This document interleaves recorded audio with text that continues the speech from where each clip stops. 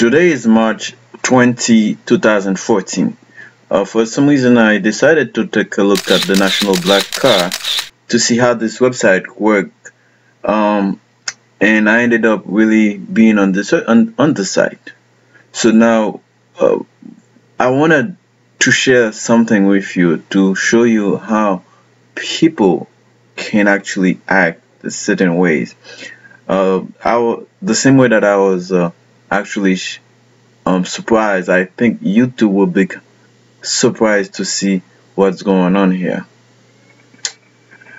Uh, the first thing that I, you know, I want to pinpoint is that this website looks a working, good-looking website, and then you can see everything isn't on it, the type of car, the phone numbers, and and um, the service that they provide in and the cities that they serve, etc.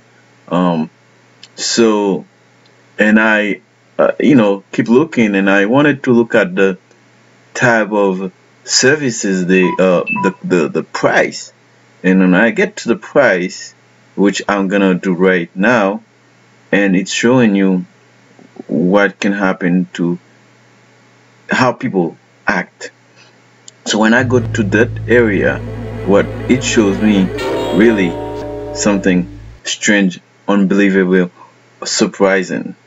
I didn't expect to see this website will look like that, but in fact what it says here, it is it's a, the page is hacked.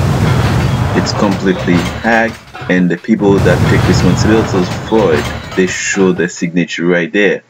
But um, I didn't stop there. I wanted to figure out if it's really um, the the booking areas and I go back and I look at the home page basically coming to the home page tells me the same thing again.